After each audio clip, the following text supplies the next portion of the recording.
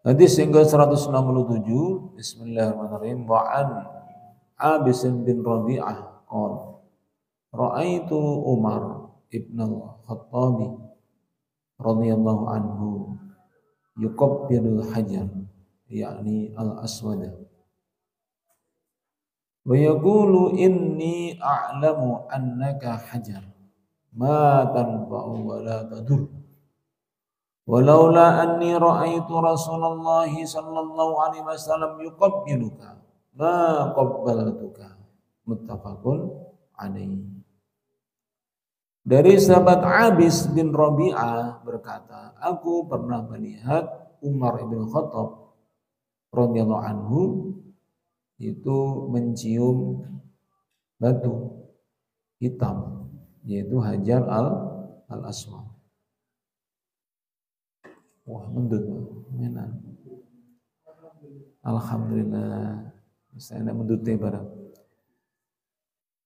Kemudian Abis bin Robi'ah ini mendengar Umar ngomong begini, Inni a'lamu annaka hajar. Sungguh aku tahu, sangat tahu bahwa engkau ini adalah batu yang matan wala tadur yang tidak bisa mendatangkan manfaat maupun mendatangkan bahaya. Walaula anni ra'aitu Rasulullah sallallahu alaihi wasallam. Sekiranya aku tidak melihat bahwa Rasulullah sallallahu alaihi wasallam itu menciummu, aku tidak akan menciummu. Di sini muttafaq alaih dalam Sahih Al-Bukhari nomor 1610, Sahih Muslim nomor 1270. Ini menceritakan mengenai apa? Mengenai apa ketegasan ya, betapa clearnya akidahnya khalifah yang kedua yaitu Umar bin Khattab radhiyallahu anhu. Dia bisa membedakan ini sedang mengkultuskan Hajar Aswad atau mencontoh baginda Rasulullah SAW. Ini nampak luar biasa ya dia ketegasannya, kejelasan mendudukkan masalah mencium Hajar Aswad ini bagaimana. Ya. Bismillahirrahmanirrahim. Bagaimana syarahnya? Hadal hadis alladhi dzakarahu al-muallif rahimahullah taala an Umar bin Khattabi radhiyallahu anhu fi babil amri bi sunnah wa adabiha. Hadis ini ya sebagaimana yang disebut oleh sang muallif yaitu Imam Nawawi rahimahullah taala rahmatan wasi'ah. Dari atau tentang Umar bin Khattab radhiyallahu anhu dalam bab yaitu ittiba mengikuti sunnah dan adab-adabnya. Uh, enak apa nih? Nikmat mana lagi yang kamu dustakan? Saking semangatnya mbak. Ada teman saya gue itu sampai kebalik. Dusta mana yang kamu nikmatkan nih sampai kewali saking? Baru ngomong. Nah. Eh, dalam bab-bab perintah untuk itibak kepada sunnah dan adab-adabnya. Faqad kana radhiyallahu anhu yatufu bil Ka'bah adalah khalifah yang kedua yaitu Umar bin Khattab. Satu ketika itu tawaf mengelilingi Ka'bah. Faqabbala Hajar Aswad maka beliau pun mencium Hajar Aswad. Wal hajar kama na'lam hajar minal ardi dan Batu itu sebagaimana kita ketahui batu dari bumi ju'ila fi yang dijadikan maksudnya diletakkan di pojok Ka'bah yaitu di Hajar Aswad itu. Wa syara Allah Subhanahu wa taala li ibadi an yuqabbiluhu dan Allah Subhanahu wa taala telah mensyariatkan kepada hamba-hambanya yang tawaf atau yang umroh yang pergi haji agar mereka mencium Hajar Aswad itu. Yuqabbiluhu mencium. Ay yuqabbiluhu mencium Hajar Aswad tersebut. Apa tujuannya? Li kamali dzulli wal ubudiyah. Untuk menyempurnakan penghinaan dirinya dan penghambaannya kepada Allah Subhanahu wa taala. Tunduk patuh kepada Allah Subhanahu wa taala meskipun diperintah untuk mencium batu. Walihada qala Umar radhiyallahu anhu hina qabbalahu. Karena itulah Umar radhiyallahu anhu berkata ketika mencium itu. Nah, di sini kita sisipkan sedikit ya bahwa kaum muslim itu mencium hajar aswad itu bukan mengkultuskan mempertuhankan batu. Sebagaimana disangkakan oleh sebagian non muslim yang belum paham mengenai akidah Islam itu bagaimana. Karena akidah Islam itu ya eh, apa Tuhan yang disembah ya hanya satu Allah Subhanahu wa taala tidak ada yang lainnya Nah, masuknya apa? Masuknya ya kaum muslimin itu mencium hajar aswad itu ya karena diperintah oleh Rasulullah SAW, dicontohkan oleh Rasulullah, bukan karena inisiatif sendiri ingin mencium bukan. Ini bagian dari ritual ibadah yang memerintah langsung Rasulullah SAW.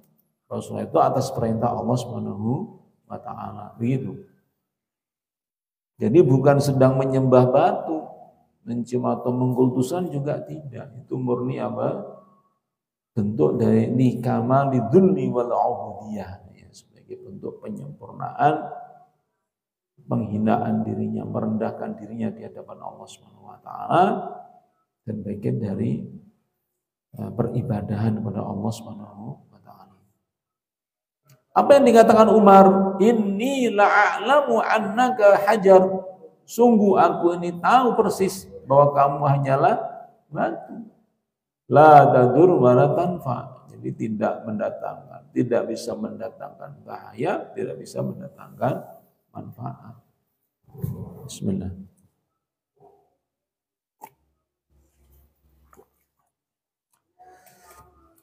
Apa nih, Bang? Jahil. Tapi kok kayak duduk jahil, apa jahil lani Apa jahil lain? Ada remah-remahnya kayaknya. Wa sadaqa radhiyallahu anhu, maka benarlah radhiyallahu anhu Umar. Fa ahjara la tadur wa la tanfa. Karena yang namanya bebatuan itu ya tidak bisa mendatangkan madharat, tidak bisa mendatangkan manfaat. Lah terus bagaimana? Ad-darar wan naf'u biyadillah. Namanya bahaya, namanya manfaat itu di tangan Allah Subhanahu wa taala. Gitu. Kama qala ta'ala sebagaimana Allah firmankan dalam surah Al-Mu'minun ayat 8889, "Qul man biyadihi malakutu kulli syai' wa huwa yujir wa la yujaru alaih in kuntum ta'lamun." Katakanlah, wahai Muhammad, siapa yang di tangannya itu kerajaan berbagai macam semua kerajaan. Semua segala sesuatu wa yujir pada Allah lah yang melindungi walau yujaru alaihi dan manusia makhluk tidak ada yang bisa mendapatkan perlindungan dari adab Allah wa taala. In kuntum ta'lamun jika kalian mengetahui. Saya kunun maka dia mereka pasti akan menjawab lillah miliknya Allah Subhanahu wa taala. Walakin bayyana radhiyallahu anhu an anna takbilahu iyahu limujarati ittiba'in Nabi SAW. Maka akan tapi sesungguhnya Umar radhiyallahu anhu itu memberikan penjelasan bahwa menciumnya dia kepada Hajar Aswad itu adalah semata-mata untuk ittiba ngikuti kanjeng Nabi Sallallahu Alaihi Wasallam. Gitu. Jelas posisinya. Bukan sedang punya inisiatif menyembah Ka'bah, menyembah Hajar Aswad, batu hitam tidak sama sekali. Ini murni apa? Etiba mengikuti kanjeng Nabi. Nah Nabi juga itu punya sifat di dalam Al-Quran itu wa ma yang diku anil hawa in huwa illa wahyun yuha. Dan tiadalah Muhammad itu berbicara sesuai dengan hawa nafsunya. Melainkan berbicara adalah karena wahyu yang diwahyukan kepadanya. Gitu. Dengan kata lain mencium jasmat itu kalau dari Umar itu etiba ngikuti kanjeng Nabi. Kalau dari Nabi gimana? Yang diperintah oleh Allah gitu maksudnya. Jadi yang disembah sama ya tetap Allah. Lalu terus dia menjelaskan itu perintahnya zat yang disembahnya gitu maksudnya. Jadi bukan nanti terus ada nyembah Allah ada terus nyembah batu ada. Oh tidak demikian. Supaya jelas umat Islam itu memang tetap apa? Ilahukum ilahun wahidun. Bahwa Tuhanmu Tuhan yang satu yang disembah cuma satu. Kul huwallahu ahad Allahu samad. Lam yalid wa lam yulad alam yakul lahu kufuwan ahad. Gitu.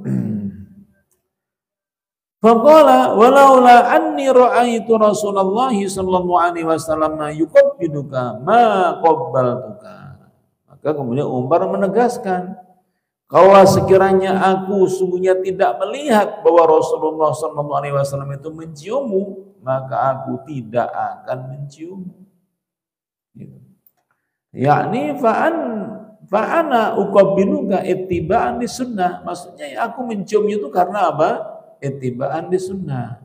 Ittiba kepada sunnah gitu.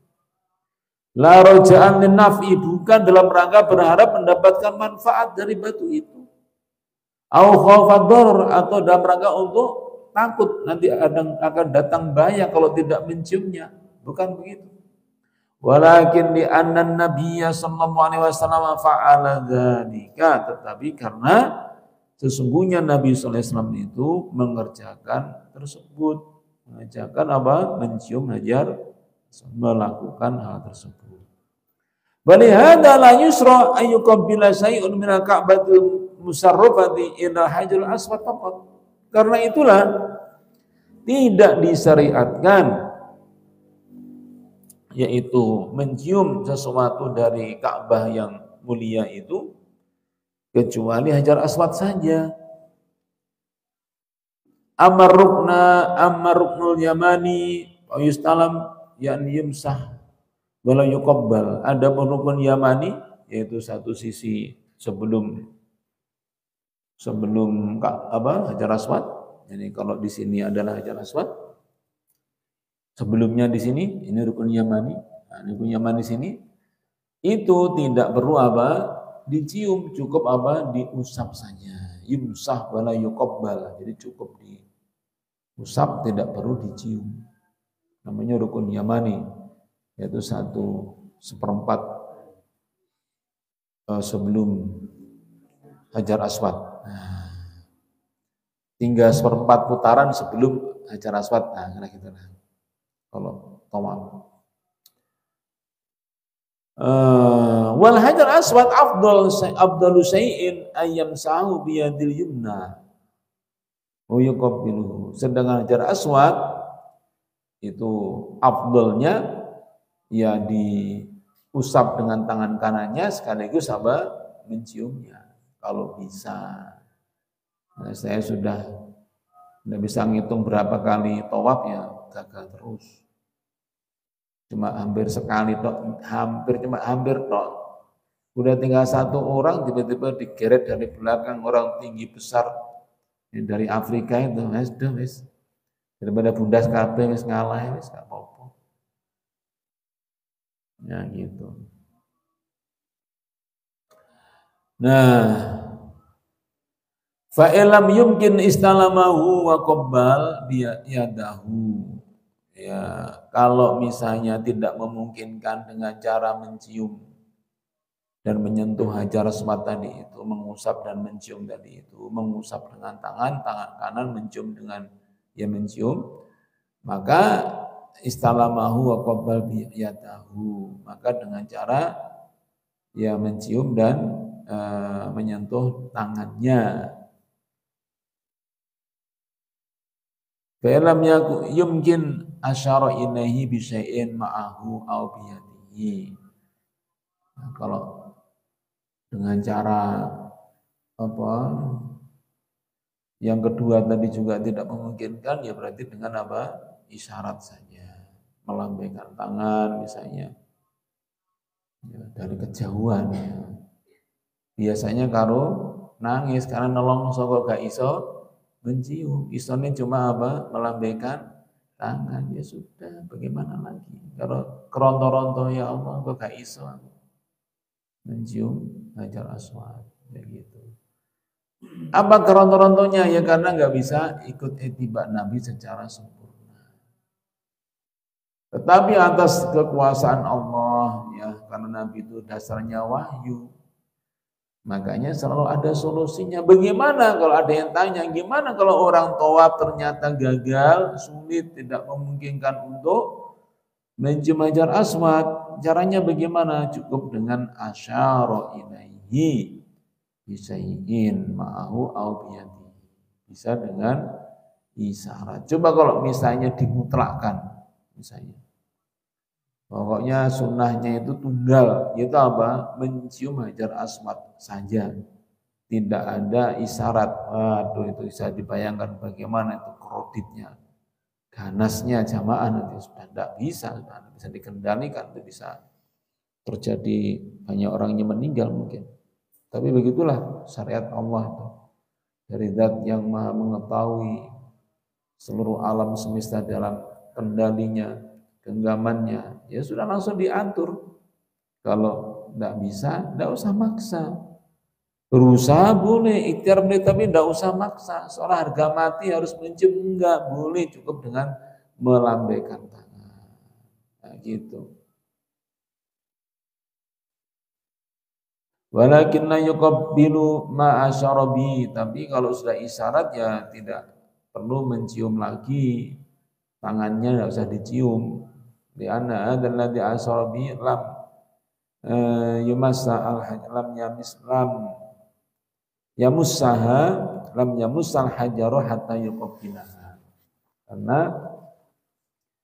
eh, tangan yang dipakai untuk melambaikan tangan isyarat tadi itu kan tidak menyentuh batu dan juga tidak menciumnya. Jadi nggak usah di nggak usah di eh, dicium tangannya itu setelah isyarat ya sudah cukup begitu saja. Amar ruknu yamani falaysa fi illa istilamun faqat ada rukun yamani tadi seperempat menjelang masuk ke hajar aswad tadi itu cukup disentuh saja. Contohnya wa yakunu al istilamu bil yadil yumna dan hendaknya menyentuhnya itu dengan tangan kanan. Wa nara ba'dal juhal alladzina la yadruna limadha istalamu adal hajar istalamu yastalimu bil yadil yusra.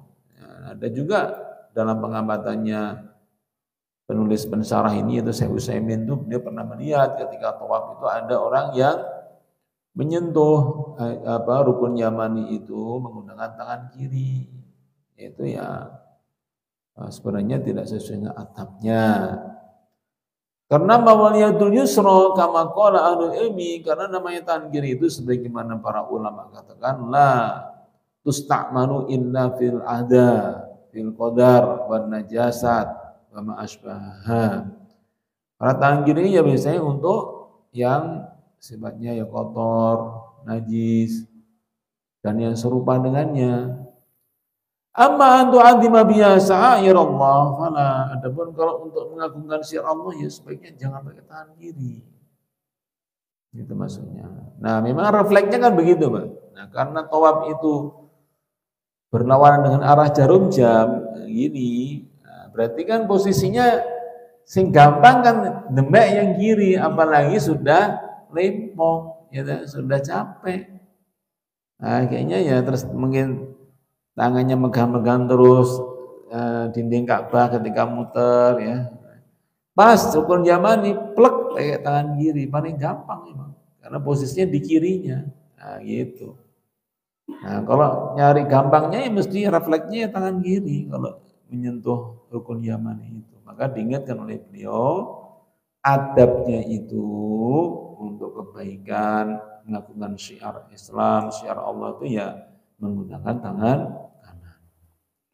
Terus gimana kalau sudah kadung? Waduh gimana saat kemarin sudah waktu umroh itu kadung tangan kiri ya apa? Ya diulang lagi saja, berangkat lagi sana. Supaya nyeneng nih apa? Biro umroh. Alhamdulillah ada yang berangkat lagi.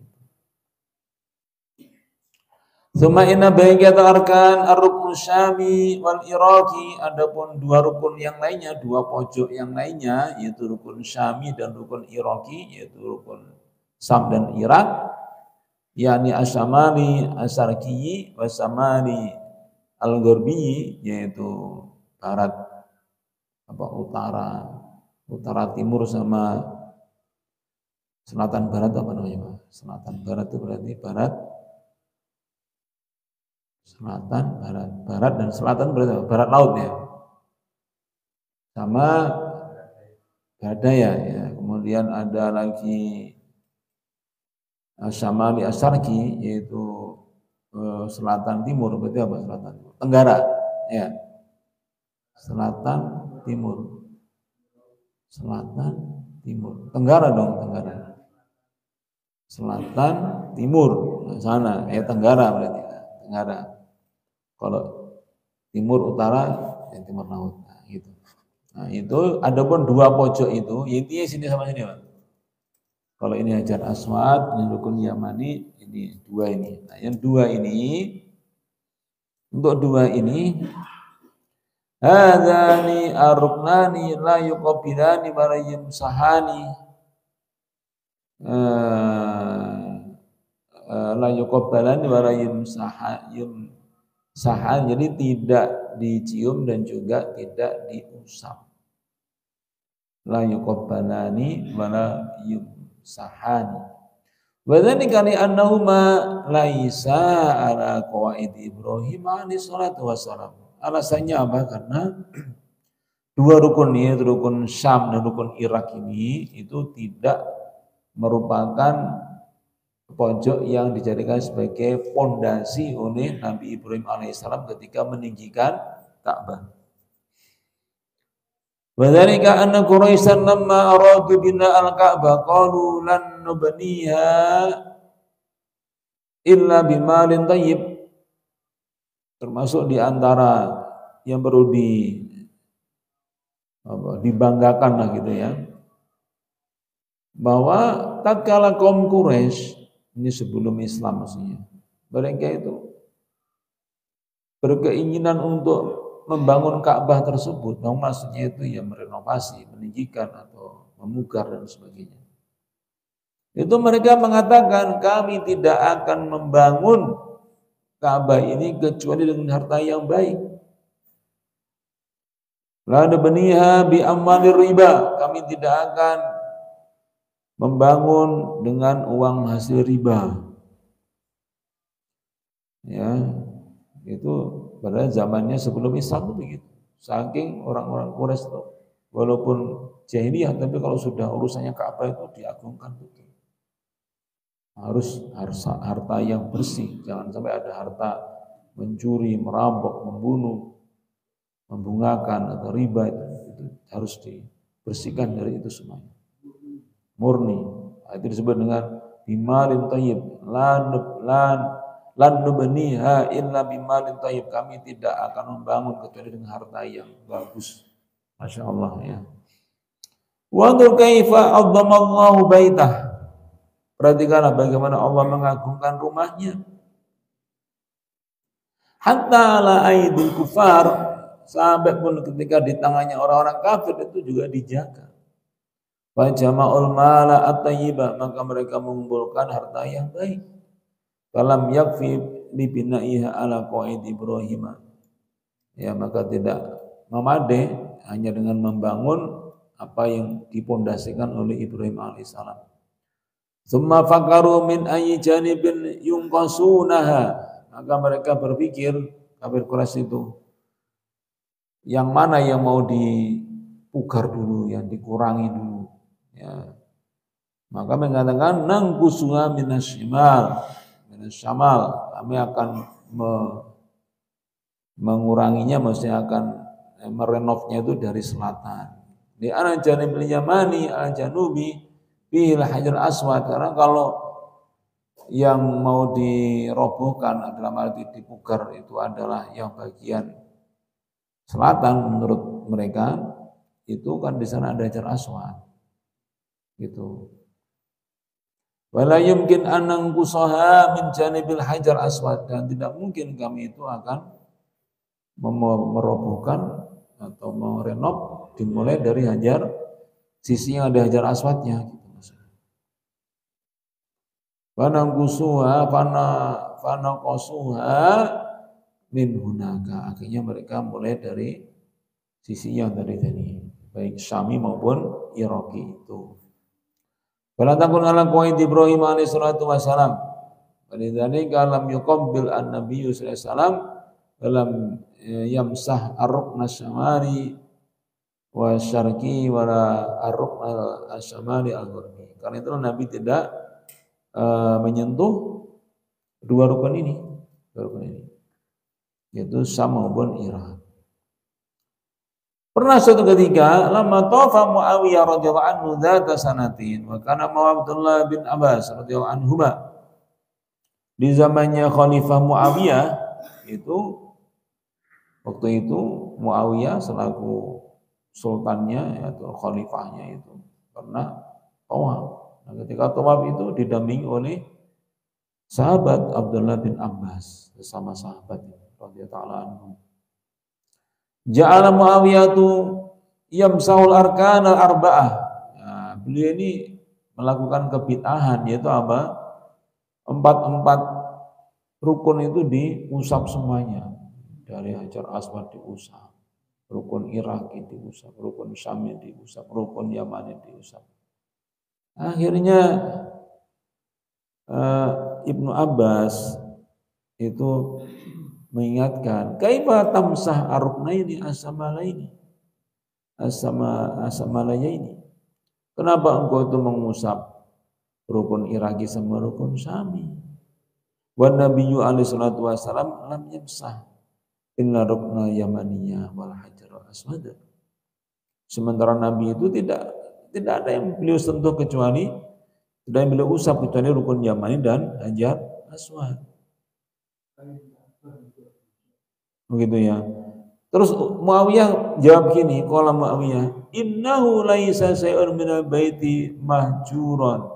Loh, siapa yang yang membatasi untuk apa Baitul Ka'bah ini? Ya semua diusap, emang masalahnya apa? Nah, gitu maksudnya. Ya ini al baitul yujal. Jadi rumah ini baitullah ini kan tidak ada yang yang terhijab, yang terhalangi untuk diusap. Yang mana? Kulluhu yuhtaram wa yu'adzam. Semuanya dihormati dan diagungkan. Pokoknya Ibn Abbas maka Ibn Abbas menjawab radhiyallahu ta'ala anhuma wa wa afqah min Muawiyah dan dalam bab ini dalam bab apa ajaran Islam ini kan Ibnu Abbas lebih fakih daripada Muawiyah. Apa jawabannya Ibnu Abbas? Dia mengutip ayat yang ke-33 dari surah Al-Ahzab. Laqad kana lakum fi Rasulillah uswatun hasanah. Sungguh pada diri Rasulullah terdapat suri teladan yang baik. Setelah itu beliau sampaikan Ibnu Abbas sampaikan, "Wa ma ra'aitun nabiyya sallallahu alaihi wasallam yamsah illa ruknaini al-yamanayaini." yakni ruknal hajari wa ruknal yamani. Aku tidak pernah melihat Nabi itu mengusap kecuali dua rukun saja, yaitu rukun Yamani dan rukun Hajar al-Aswad. Pokoknya Muawiyah, maka akhirnya Muawiyah mengatakan, sodakta, kamu benar wahai Abbas. Waraja'a ila qawlihi. Akhirnya beliau menarik ucapannya. Akhirnya ngikuti nasihatnya Ibnu Abbas. Di anna khulafa'a fi ma sabaq wa in kanu fil ubbah wal azma lakinnahum kanu yarji'una ila haq karena uh, apa khalifah itu ya meskipun memiliki kekuasaan ya memiliki kedudukan yang tinggi tapi mereka ini kan harus kembali merujuk kepada kebenaran. Walihada raja Muawiyah radhiyallahu anhu ilal haq karena itulah akhirnya Muawiyah merujuk ya kepada kebenaran. Kalau sedakta dengan mengatakan sedakta engkau benar wahai Ibnu Abbas. Wa taraka mashar ruknaini syamali asyarqi wasyamali al-ghurbi. Akhirnya Muawiyah itu uh, tidak lagi mengusap baik rukun Syami maupun rukun Iraki. Nah, itu hebatnya penguasa zaman dulu tuh begitu. Walaupun kekuasaannya sangat besar, kalau ditegur sama ulama diingatkan ya sami'na wa ta'na. Wa fi hadzal hadis alladzi dzakara mu'allifu an Umar radhiyallahu anhu dalilun ala juhalati jalati ulaikal qaumil ladzina nusaiduhum yaqifu ahaduhum inda ruknil yamani fayamsahu biyadihi wa yakun ma'hu tiflun. Qad hamalahu wa yamsahu tifla biyadihi yatabarraku birrukni. Nah maka setelah itu beliau Usaimin ya mengkritik atau mengoreksi ada jamaah ya yang karena kebodohannya, ketidaktahuannya itu ibu-ibu yang atau bapak-bapak yang menggendong anaknya, kemudian dia mengusap rukun Yamani, kemudian uh, dia bersama dengan dengan anak kecil yang digendongnya itu, kemudian dia mengusap anaknya dengan tangan yang barusan dipakai pengusap rukun Yamani itu dalam rangka untuk ngalap barokah rukun Yamani itu itu dia di, termasuk kategori perbuatan jahala perbuatan yang tidak ada dasarnya. Wa kadzalika lahu tayassara lahu al-masu ala hajar asmad masatifla lil barakah ini juga kalau misalnya ada orang itu sampai gendong anaknya dia berhasil untuk mengusap hajar aswad maka hasil usapannya itu diusapkan ke anaknya dalam rangka untuk ngalap barokah. Adalah saka annahu bid'ah. Menurut beliau ini termasuk kategori bid'ah. Wa nau-nau'un minasyirkil aswar bahkan masuk kategori syirik yang kecil. Di anna unai ja'alu ma laisa sababan sababan. Karena berarti mereka ini telah menjadikan yaitu yang bukan sebab dijadikan sebagai sebab. Adapun kaidahnya anna kula ahadin yaj'alu syai'an sababan li syai'in biduni idnin minasyar'i fa anu yakunu mubtadi'an. Kaidahnya apa? Bahwa semuanya segala sesuatu yang dijadikan sesuatu menjadi sebab yang mana tidak diizinkan oleh pembuat syariat maka itu termasuk kategori bid'ah. Walihada yajibu alaman ro'a ahadan yaf'alu hada an yang sohu an yang sohahu maka kalau ada orang yang lihat seperti itu, ya tolong diingatkan, dinasihati. Ada gairu masyru, ada bid'ah ini tidak disyariatkan, ini termasuk perbuatan bid'ah. Hatta la yadun la yadunna la yadunnu annasu annal ahjara tanfa atau tadur supaya jamaah manusia itu sampai jangan sampai mengira bahwa batu itu batu-batu itu mendatangkan manfaat dan bisa mendatangkan bahaya. Suma tata'allaqu qulubuhum biha bi syai'in akbar wa a'dham min hada. Kemudian bahkan dia malah seperti punya ketergantungan, keterikatan dengan dengan batu-batu itu yang barusan diciumnya, yang barusan diusapnya itu. Wa tabayyana Amirul Mukminin Umar radhiyallahu anhu annahu la yaf'alu dzalika illa tibaan li sunnatin Nabi sallallahu alaihi wasallam. Sedangkan Umar Amirul Mukminin sudah memberikan penjelasan bahwa sungguhnya dia tidak melakukan hal tersebut kecuali karena apa? Semata-mata ittiba'an di sunnah. Semata-mata untuk ikut sunnah Nabi SAW wa illa fa innahu ya'lamu annahu la yanfa' wa yadur. Kalau tidak maka sungguhnya dia tetap tahu paham bahwa batu itu tidak ada manfaat dan mendatangkan madharat wa bihadza dalilun ala anna kamalat ta'abbudi ayyun yang qada al insanu lillahi azza wajalla. Dari sinilah kemudian menjadi dalil tentang kesempurnaan peribadahan itu dengan cara apa? Seseorang itu menyandarkan, menggantungkan, tunduk kepada Allah Subhanahu wa taala semata. Sawa'un arafa as-sababa wal hikmata fil masyru'iyati am lam ya'rif. Baik dia tahu sebab atau hikmah dari yang disyariatkan maupun tidak tetap berusaha tunduk patuh. Fa'ala mu'min idza qila lahu if'al ayyakul sami'na wa ta'na. Karena itulah seorang mukmin itu wajib ketika dikatakan kerjakan ini oleh Allah dan Rasulnya maka sami'na wa ta'na. In araftal hikmata wa nurun ala nur. Kalau kita tahu hikmah dari apa yang kita lakukan itu berarti bagian dari cahaya berkah nikmat Allah. Wa ilam ta'rif fal hikmatu amrullah ta'ala wa rasuluhu. Kalau misalnya kita belum tahu hikmahnya itu maka serahkanlah kepada Allah dan Rasulnya.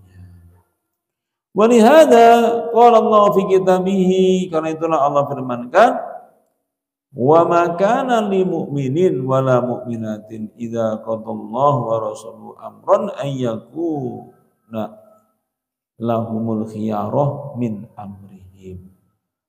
Tidak sepatutnya bagi orang yang beriman laki maupun perempuan kalau Allah dan Rasulnya sudah memberi, membuat keputusan kemudian dia masih meminta adanya opsi yang lainnya. Al-Azab ayat yang ke-36. Wa su'ilat Aisyah radhiyallahu anha limadha taqdi al-haidu as-sauma wa la taqdi as-salata. Suatu ketika Ibunda Aisyah radhiyallahu anha itu pernah ditanya eh, berarti oleh kaum perempuan ibu-ibu ya. Mengapa orang yang haid itu harus mengkodok puasa tapi tidak mengkodok sholat? Kok yang digodok cuma puasa, bukan sholat sekalian. Pekolat maka ibu Aisyah langsung jawab, karena yusibuna dalika maru bikodo isomi wala numar bikodo isolat. Ya begitulah nasib kita sebagai perempuan. Bagiannya ya kayak begitu. Kita diperintah untuk mengontok puasa dan kita tidak diperintah untuk mengontok sholat. Itu jawabannya Bunda Aisyah begitu. Karena radhiyallahu anha tangkuru seolah Ibunda Aisyah itu ingin mengatakan begini. Inna wadifatul mu'min ayya'mala bisyar'i. Sesungguhnya kewajiban tugas seorang beriman itu apa? Ya mengerjakan syariat tersebut. Sama'un arafal hikmata amlam ya'rifha. Baik, kita tahu hikmahnya maupun tidak tahu hikmahnya. Ada waswab ini yang benar.